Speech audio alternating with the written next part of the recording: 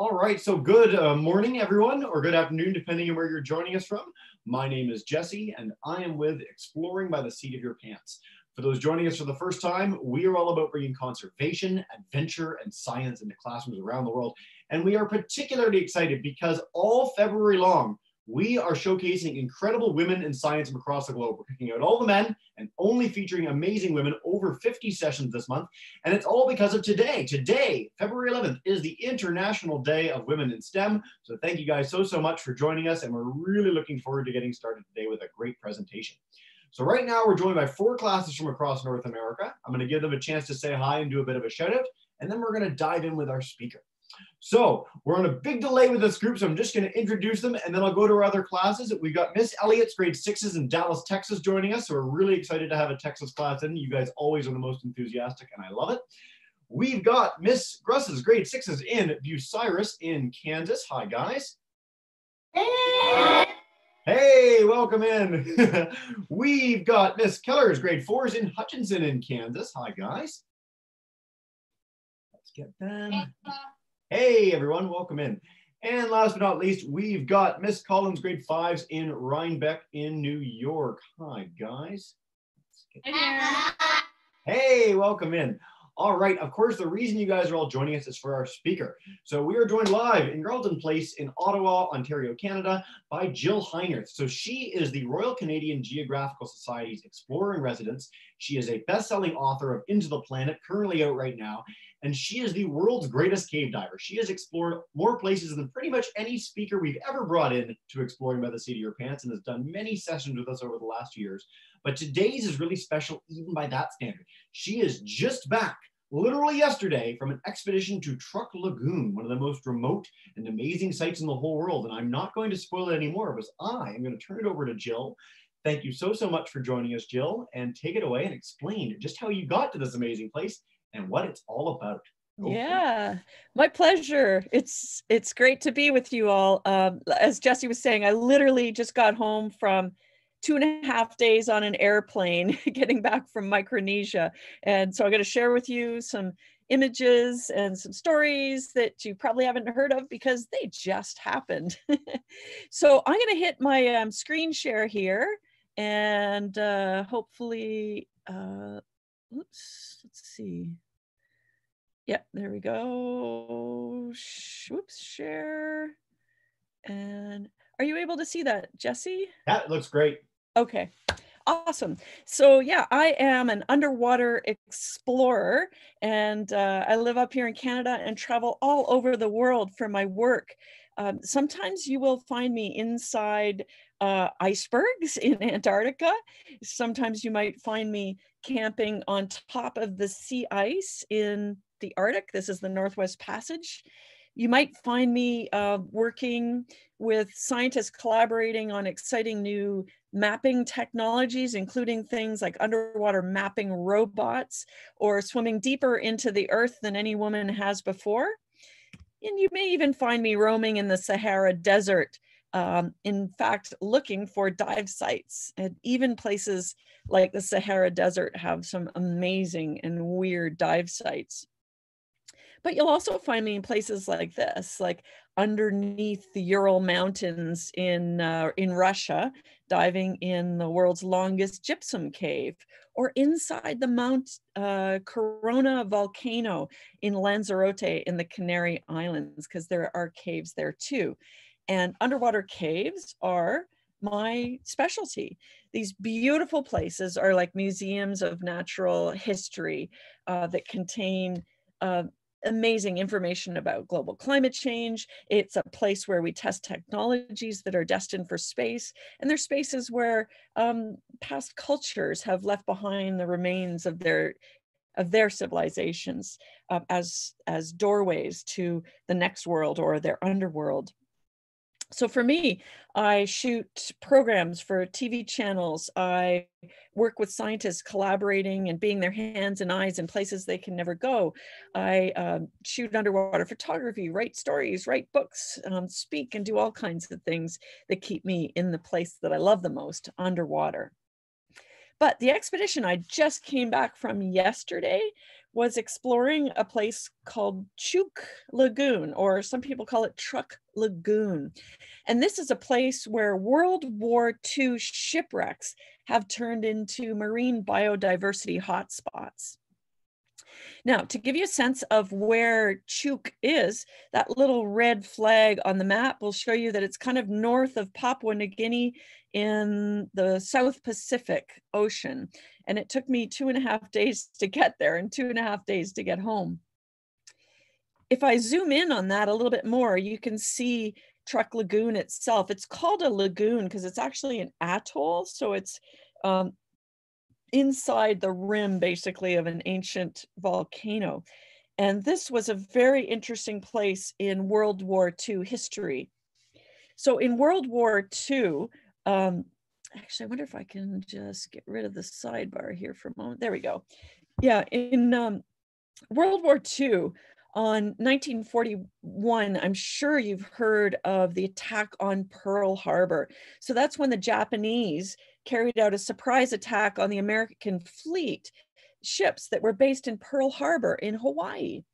And in 90 minutes, the Japanese Navy destroyed seven American battleships, 90 support ships, and 250 aircraft.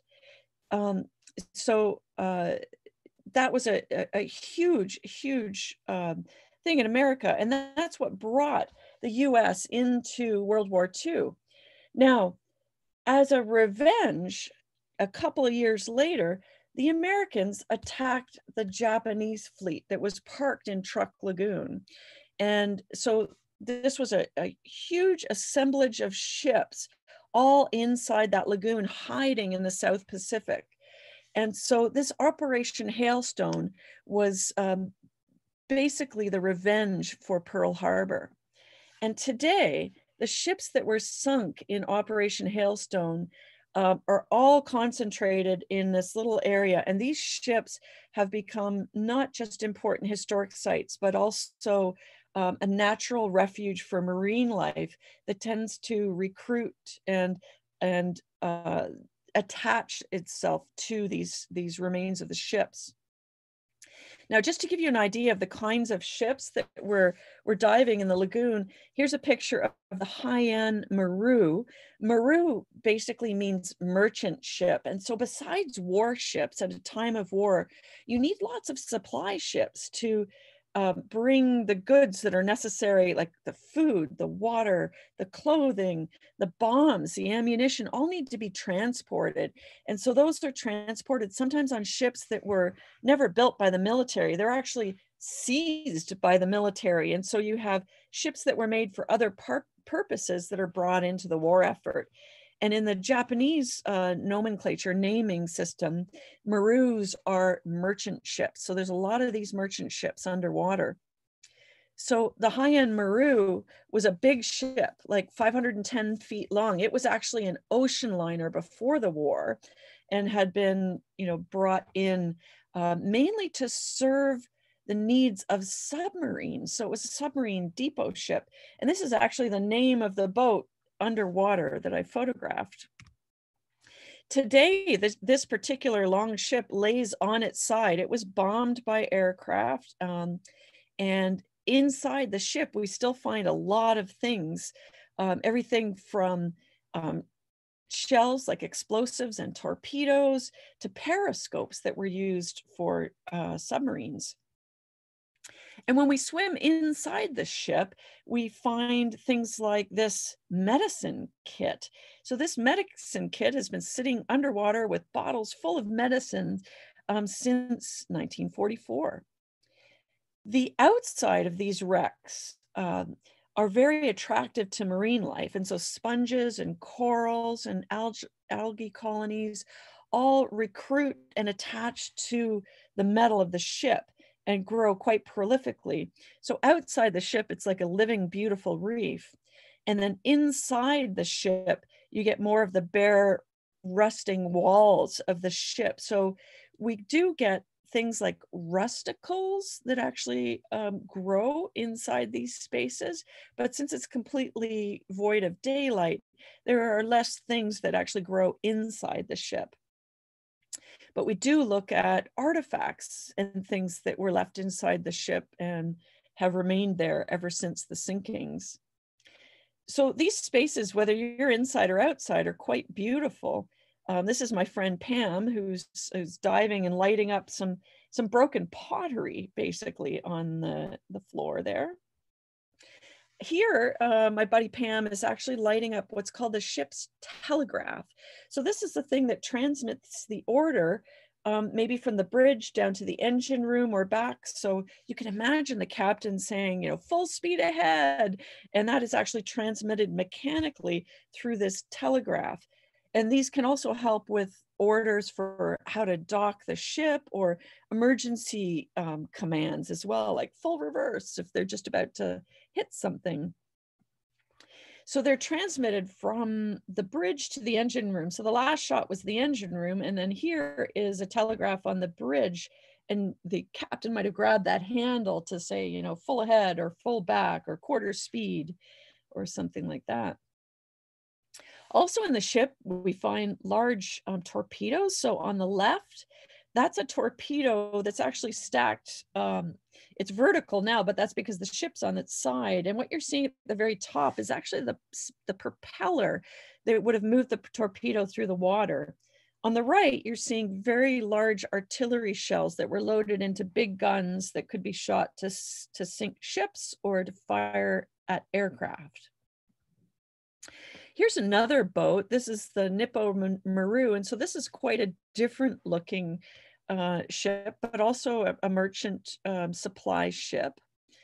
Um, and then sometimes in, in these places, we find things like this, like huge piles of beer bottles and sake bottles, because food has to be transported to soldiers, um, and so does drink. And so in these days, in 1944, it would have all been delivered in individual glass bottles. Now on the Nippo Maru, it's a little bit deeper. We don't have quite as much marine life, but still a lot of really colorful stuff. And fish move in because the sponges and the corals all uh, grow on the ship as well. So it really does become a beautiful reef. Here's the outside of the Nippo Maru, the very deepest part, and that's my buddy actually swimming through the hole that was created by a bomb that sunk the ship. So this is the size of the hole that sunk that ship. Now, we also find lots of smaller, sort of more personal artifacts on these ships, like gas masks. There are lots of gas masks scattered around on the ship, even, you know, piled up in the debris field inside the holds of the ship. So pretty interesting stuff.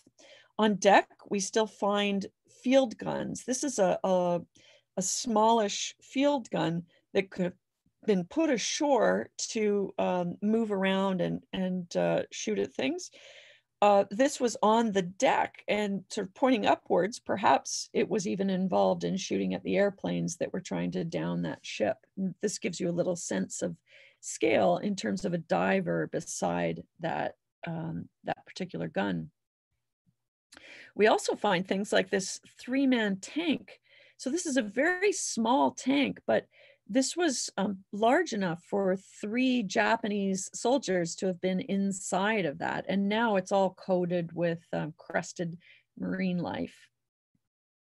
And again, that's back inside the bridge of the Nippo Maru.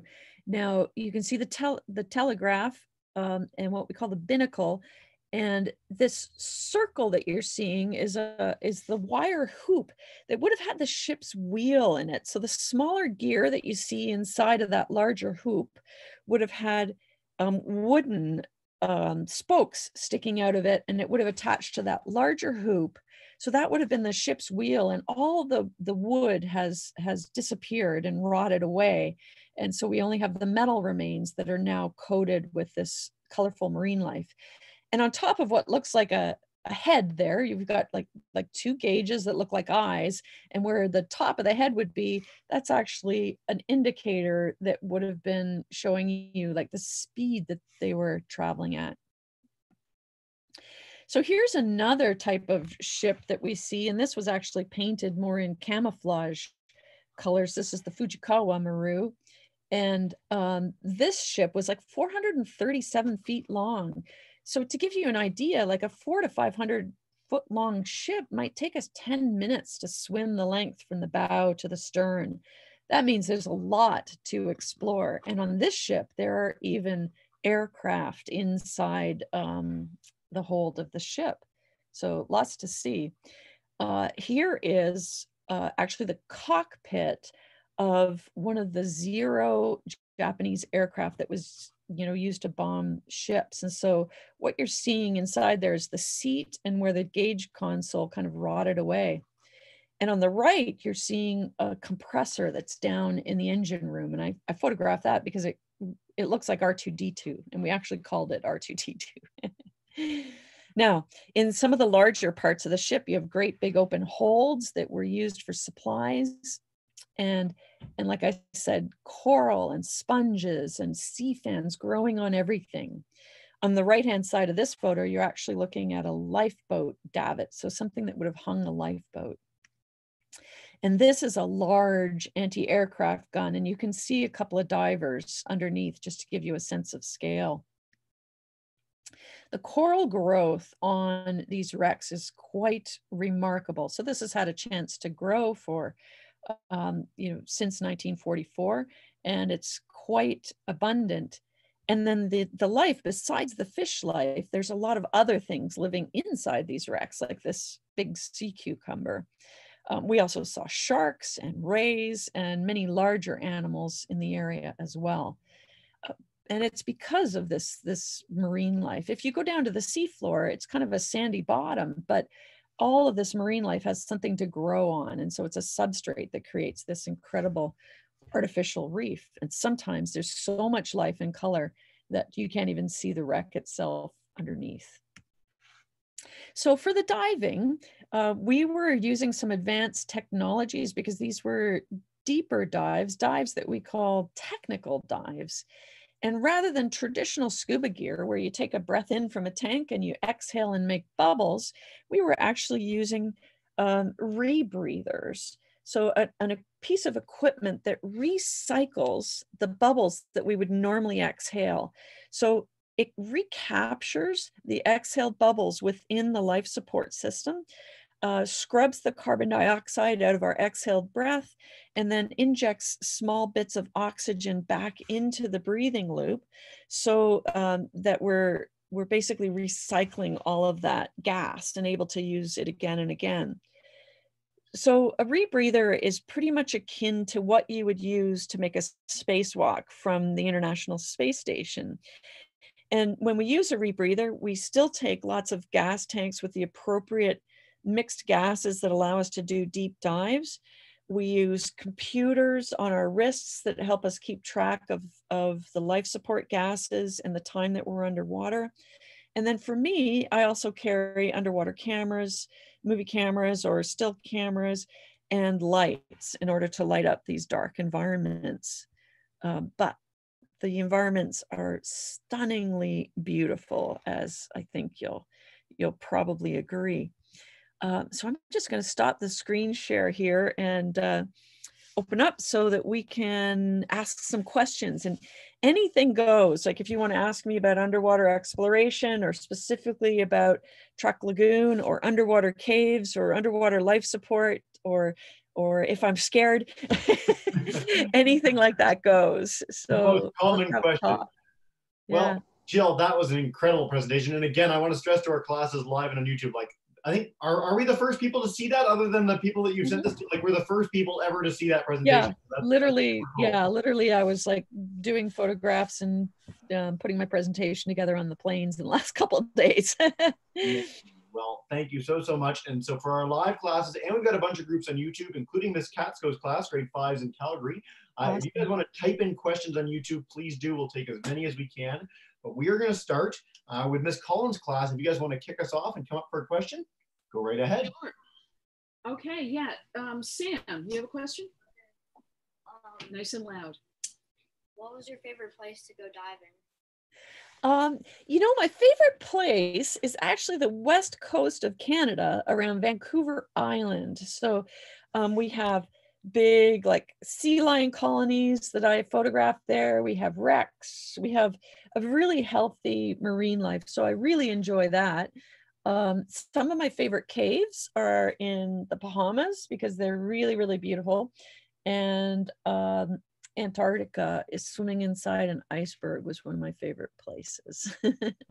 And we, again, we're going to pass along some of your past Yeah. presentations to classes. So if they want to hear about these adventures in more detail, they Yeah, can. Great. great question to kick us off. Let's head to Miss Gruss's class. If you guys want to come up, go for it. Hey, who would like to ask a question? Okay, stand up, Keegan, and ask. Um, how many pictures do you think she took? Oh, so um, uh, you know, I might take two or three hundred pictures on a dive, like when it's really exciting and new like this for me, and then I might keep maybe 20 of them per dive. And on a trip like that, I might do like 20 dives. So uh, lots of dives and the average dive, what we call run time, so time from when I leave the boat to when I'm back on the boat, was um, two to two and a half hours each dive on this trip. Mhm. I love the question. I don't think we've ever gotten that one for you before. Yeah. That's fun. Yeah. And my longest dive in life was 22 hours. So, Right. yeah. So that, that's that's using the breathe- breather technology you were talking about, correct? Mhm. You couldn't do Mhm. that without that. Yeah. Yeah. Very cool. All right. Uh, let's head to Miss Elliott's class who got their tech working halfway through. come on up, guys. Um, hi, my name is Gabby. Did you, or how many people were on, uh, were diving with you? And did you ever get scared? Yeah. So uh, on this trip, trip, there were 12 of us diving. Um, so sometimes I dive alone even um, and then sometimes i'm on a much larger group maybe i think the most people i've ever been in the water with at once on a like working together as a group was 18 people inside a cave when we were shooting a hollywood movie now my favorite question of all is aren't you scared and the answer is yes now people think that i'm fearless because i'm an explorer but it's really important actually to be scared because it means that you care about the outcome of your choices. It means that you understand that you're doing something that's risky. And um, I like to tell people that walking towards fear is a really good thing. It's part of being an explorer because if something scares you, it means that you're on the edge of doing something that may be new for you or maybe completely new for humanity and that that little you know heart heart rate racing or or fear that you feel uh, just means that you care about the outcome of your choices and that you want to be safe. So being scared is good. And I would say walk towards fear rather than running from it. We can always figure out how to deal with things that scare us if we just make a list of what those risks are. Amazing. Well, thank you so much. I'm so glad we got that question so early. That's great. Yeah. Um, all right, Miss Keller's class just came back, but while they're getting their tech working, I'm going to take a question from the YouTube group. So Miss Katsko's class wanted to ask, what inspired you to do underwater diving, Jill? Well, um, I actually wanted to be an astronaut when I was a little kid. Um, I watched the Apollo missions um, when I was a when I was a young girl, and um, we didn't have a Canadian space program or or women astronauts. but I also used to watch Jacques Cousteau on TV, and that really inspired me. And I I realized that the oceans and the water places on our planet were really unexplored, and for me, that was a huge opportunity. So that's sort of what drove it for me. But but I was also a real water kid. I like to swim. I like to like springboard dive, synchronized swimming, paddle a canoe. And so diving was sort of a natural extension. So Miss Katzo, I may see you in Calgary in a couple of days at the teacher conference. I'm gonna be knows? yeah, yeah, I'm gonna be speaking there uh, this week. Yeah, in Edmonton. Mhm. Uh, you mentioned being a, a water kid, and I wanted to stress because I think all our classes are the right age. Can you tell the classes at what age they can start learning to scuba dive? Yeah. So even as young as eight, you can participate in something called a bubble maker program, um, which is like pool diving. But once you're 10, you can get fully certified as a scuba diver uh, by taking a series of classroom and pool sessions and then doing four dives in the open water. Um, and that's how you become a, a junior scuba diver. And and you can continue to go through like higher uh, levels of of learning, like advanced scuba and rescue diver and all kinds of things after that. So many many opportunities. Very cool. All right, uh, Miss Keller's class. I know you guys had to dip out for a bit. I don't know what the tech difficulties were, but you're back. And so if you guys have a question in Miss Keller's group and you wanted to come up and ask Jill, go for it. Mhm. We do indeed. Go ahead and get in front of the screen. Addie. You can bend down. What's the strangest thing that you've ever seen? Um, like, what's the Oh. strangest object that you've ever seen? Yeah. Well, I've seen um in terms of like like things underwater, I've seen um human skeletons. so um ritually sacrificed human beings in Mexico um that would have been sacrificed like you know a long long time ago hundreds hundreds and hundreds of years ago and left um like in caves that are now filled with water so that's pretty unusual uh, but I've also found unusual animals in caves. So there are things that swim around in the darkness of an underwater cave that are like living swimming dinosaurs because, uh, but they're tiny uh, because they've been around on Earth unchanged for tens of millions of years. And so some of those animals are quite unusual, like animals with venomous fangs and pincers and uh, cool stuff, but miniature animals. Cool. That's the only ritualized human skeleton conversation that we're going to have the entire month of February. So thank you. Probably. Yeah. Yeah. Now, in the in the wrecks that I was just in in Truk, we saw the most the craziest stuff. Everything from giant bombs to landmines, uh, but also trucks, tanks, guns, um, and then you know, like I said, the bottles, um, and then any kind of like supply that you could possibly imagine is packed inside of those ships too, like water tanks and all kinds of things. These ships are so big that they're just full of things. But but we also see like like the old cabins, um, like so there are bathrooms, so there's bathtubs and toilets and sinks, you know, that you see and, and suddenly become kind of interesting when you see them underwater. Thank you for that. Thank you again. Yeah. All right, let's go back to Miss Collins' class. We'll do another round of questions, guys. This is very cool. Come on up. How far have you been underwater? Well, um, the deepest deepest vertical like that I've ever been down is like 460 feet beneath the surface, but I've been you know more than uh, you know miles inside of cave systems that branch out like uh, like branches of a tree. So miles inside these water filled conduits so that in order to get out of there and back to the surface i have to swim a couple miles before i can even come up so so i've actually gone further into deep caves than any woman um, has ever gone before Mhm. Fantastic. Um, I'm going to take a quick YouTube question from Miss Catsko's class. Yeah. How long do you study in one area for? well um well th- th- there's double double question there you might be surprised to learn that my formal background in university is in fine arts.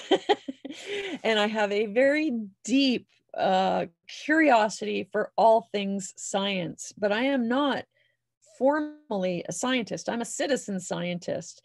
And so I collaborate with scientists. And so every project for me is new. Like when I go to Antarctica and try to cave dive inside an iceberg, nobody's ever done that before, but I do spend a lot of time studying about the ice and how that works.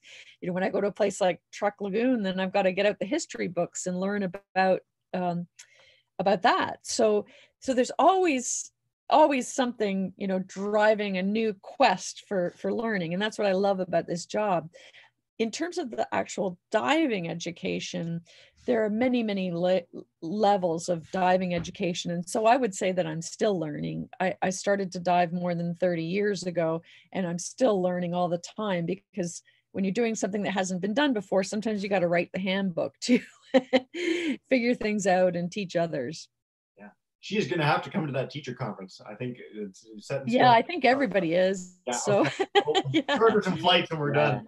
Yeah Um, let's go back to, to Bucyrus, uh, Miss Gross's class. Do you guys have another question? Go for it. Mayor Jackson, okay, Sam, sorry. Where was your first major dive? Um, so my very first dive was in Ontario, Canada when I got certified.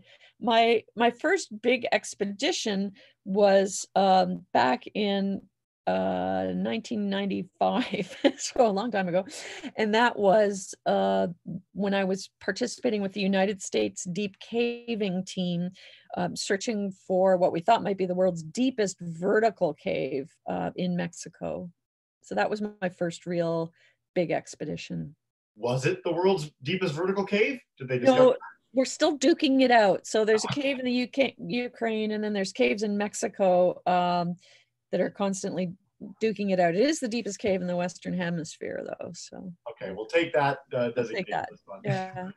Cool. Um, Miss Elliott's class, come on back up, guys. Um, have you ever found any treasure and have you ever kept any of it?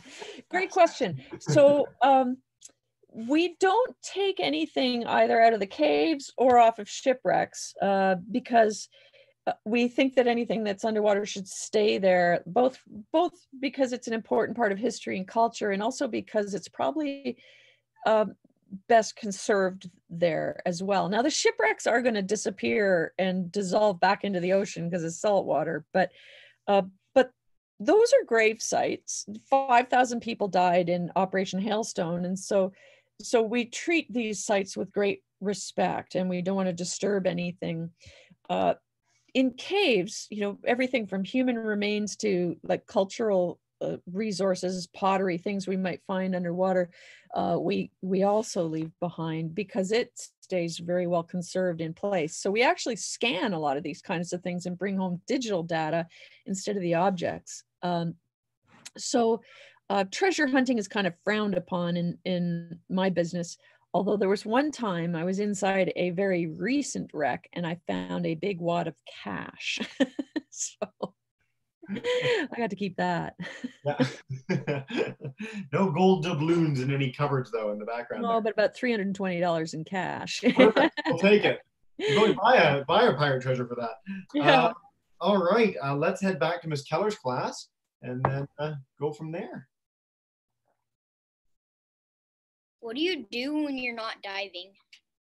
Um, well, I have a lot of hobbies. I really like outdoor stuff. So I live near Ottawa, Canada. So right now in the wintertime, I'm skiing and snowshoeing or or hiking. Um, in the summertime, I like cycling and swimming. Um, but it's funny, I uh, like if I'm not working diving, I still like fun diving. So it's um, it's a pretty good career for me. Something we hear from a lot of our, our speakers is that uh, the things that drive them, the things that they end up doing for a living are stuff that they've been passionate about since they were a little kid and they just get to do that. And it's not really work when you're just fulfilling what you love. That's the best kind of job. All right. Uh, question from a group on YouTube, Ms. Katsos class again. Um, is the color on the coral from algae? Can you explain a little bit about how Ooh. colorful coral is? Yeah, so uh, there are a lot of really, really colorful things underwater. Uh, and if we don't shine a light on them, we don't actually notice that it's colorful because uh, as we go deeper and deeper, the, the light is absorbed and then um, and also refracted. Um, and so until we shine a light on the stuff, it actually looks kind of blue green monotone. And then as soon as we shine a light on it, it's like, whoa, it's beautiful. Uh, and and Chuuk uh, is some of the most colorful things that I've seen. There are colorful al- algae down there, but there are also colorful sponges and corals and sea whips and sea fans and all kinds of marine life. Most of this are, although they're they're anchored, they're animals, um, and so that's kind of interesting too. Fantastic. All right. Uh, Jill, do you have another uh, time for another round of four questions? Yes, yes. Perfect. All right. Well, in that case, let's go back to Ms. Collins' group. Come on up, guys.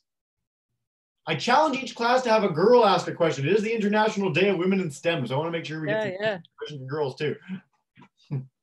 yeah, you're good. Did you ever explore the Titanic? I haven't been to the Titanic. Um, it's very, very deep. So we can't actually swim around the Titanic. We can only explore it with submarines because it's so deep. Uh, I would love to go there, but very expensive to get a submarine. yeah. But people are still exploring the Titanic. People still go down there.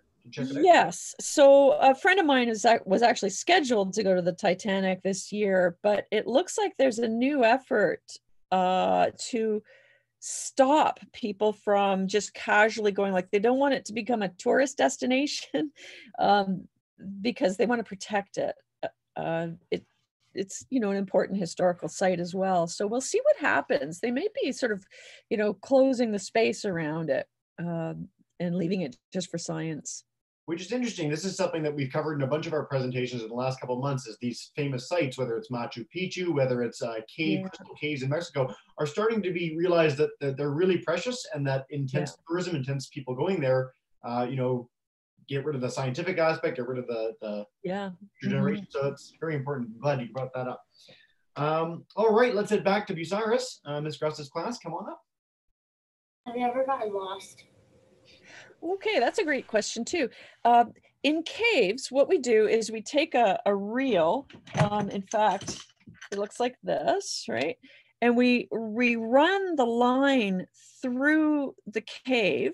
So very carefully, like tying it off around rocks and things like that. We do the same thing inside of wrecks, Um, and that's so that if we lose all the visibility, which can happen um, from silt in the water, then I could just put my hands around the guideline and follow it all the way back to the entrance. So that's that's what we do to prevent ourselves from from getting lost. If someone didn't run a guideline and then got caught in this sort of whiteout of silt, it would be easy to get lost. So that's a really important safety protocol for us running a line. Yeah. Is there a backup in case the line tears? No, um, but we do train and practice to both find a guideline when we're blind. So, like search techniques for finding the guideline if we can't see.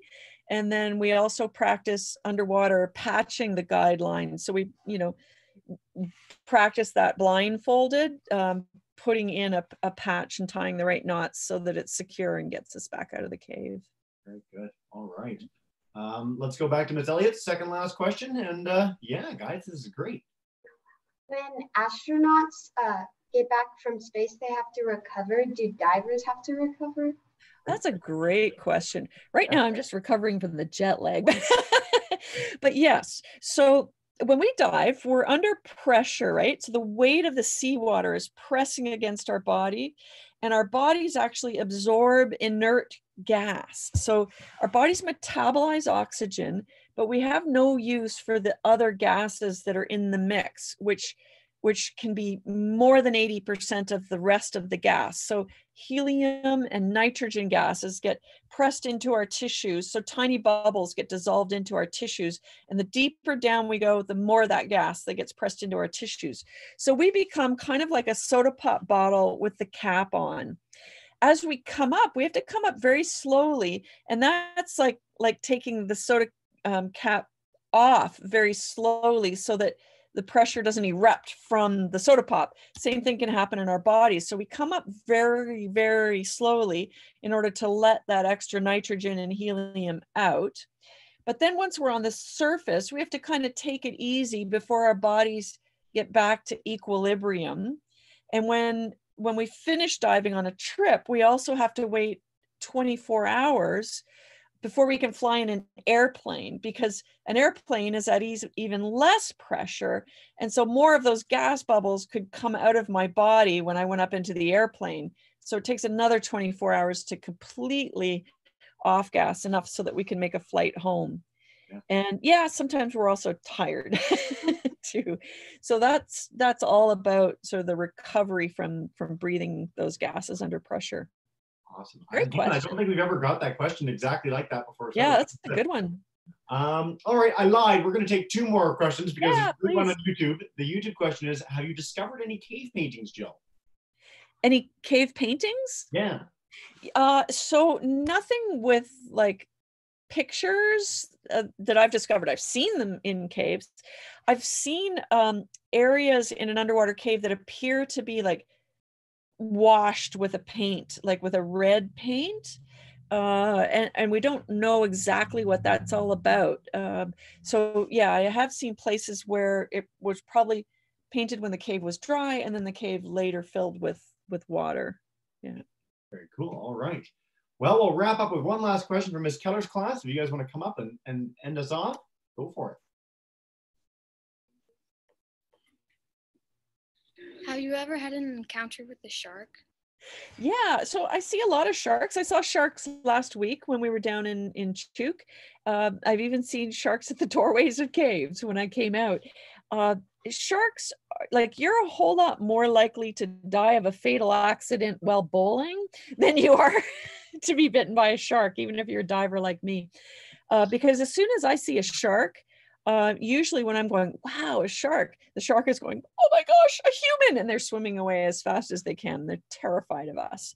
Um, so sharks are in much more danger from humans that are fishing them for shark fins, for instance. Um, and uh, we're in very little danger from sharks. The only shark attacks that happen are kind of accidental things when the shark looks up from below and sees maybe a swimmer or someone on a surfboard, and to them it looks like the shadow of a seal, something that's in their in their food plan, um, where we don't look like, smell like, or taste like anything in their food plan. So that's why you know the occasional surfer or something gets bitten, and then the shark goes, Bleh, don't like that. Sorry, and spits them out.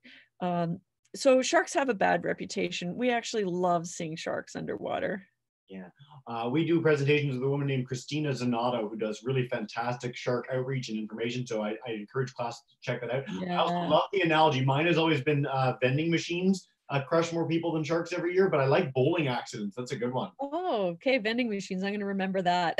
Co- coconuts is like 40 and sharks are like five or something like that. Yeah. so. yeah. Anyway, uh, fantastic questions, guys. Jill, before we wrap up, uh, is there a place that we can send kids to learn more about you, the work you do, or Yeah. get encouraged to dive in general? Absolutely. Uh, well, you can go to my website, intotheplanet.com, and there's a lot of like links to my different ex- explorations as well as my YouTube pages and Vimeo and things like that. So there's a lot more to uh, to watch there. Um, there's also an app um, that I recently uh, uh, did work on for a film that's that's out called Under Thin Ice. It's a film about climate change and diving in the Arctic under the sea ice. And the app, which is free, is on um, uh, either the uh, App Store or Google Play. It's called uh, Discover the Arctic. And if you want to have a look at that, there's some more interesting stuff to, to see. Yeah, so I'll pass along all those resources to our classes when we're done. I, I really appreciate that, Jill. That's fantastic. Um, all right, Jill, as you know, how we wrap all these up is I'm going to demute every class's microphone. And so, boys and girls in all our classes, if you guys could get ready to join me in saying a huge thank you to Jill for joining us today. You are all now demuted. Go for it. Thank you so much. Awesome. Thanks so much, guys, to all our class for joining us for a really special presentation, a really special month for us, uh, and for Jill for coming in on the International Day of Women in STEM and coming back from an exploration literally within like 24 hours. It's amazing. Yeah. We're so thrilled to have you. Awesome. Thanks.